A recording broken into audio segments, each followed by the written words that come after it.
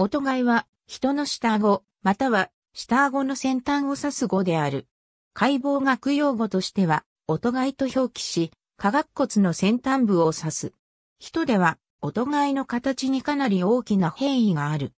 音貝は音声に関連する更新の微妙な動きを可能にする筋群が付着する部位として発達してきた。人の進化において、音貝は分岐学上の派生的形質の一つであり、現生人類を個性人類から分ける解剖学的な定義の一つとなっている。音貝に起死、または停止する筋群には、音貝横筋、音貝筋、音貝絶筋、音貝絶骨筋がある。その他音貝の名を冠する解剖学用語として、音貝隆起、音貝神経、音貝孔などがある。美人の形容として、音貝補足のような使い方がある。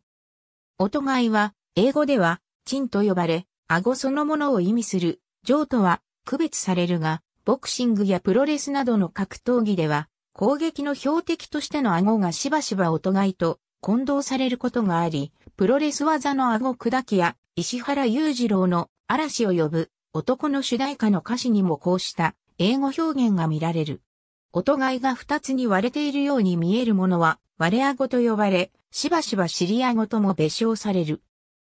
また、音貝の周囲の皮膚がたるんで、顎が二重になったように見えるものは二重顎とも呼ばれ、英語表記のダブルチンがデブの語源になったという説もあるなどして、一般的には肥満の典型的な様態であるとされるが、二重顎は必ずしも肥満だけが原因ではなく、猫背や姿勢の悪さに起因する、音が周囲の浮腫や、極端な場合突角の顔形に発展することもある。アデノイド顔形が原因である、ともされており、体が痩せている人物でも二重額となる場合はある。ありがとうございます。